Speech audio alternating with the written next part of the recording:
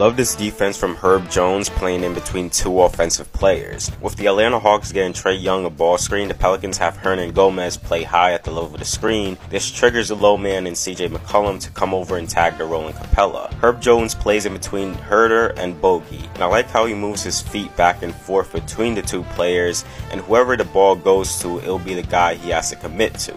With Herb's momentum shifting now towards Bogi, Trae sees that Huerter is open in the corner, but this is a great defensive read by Jones, leading to an interception.